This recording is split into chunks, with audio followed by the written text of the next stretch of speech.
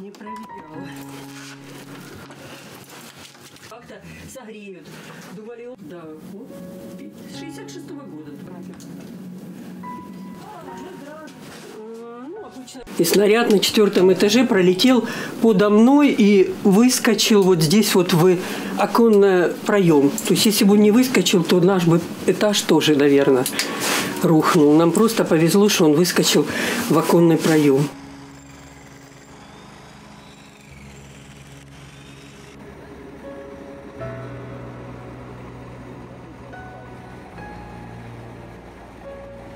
В эту зону э, был прилет. Он пробил плиты перекрытия и попал именно сюда. Ну, повезло женщине, которая жила на той стороне дома. В тот момент она принимала душ.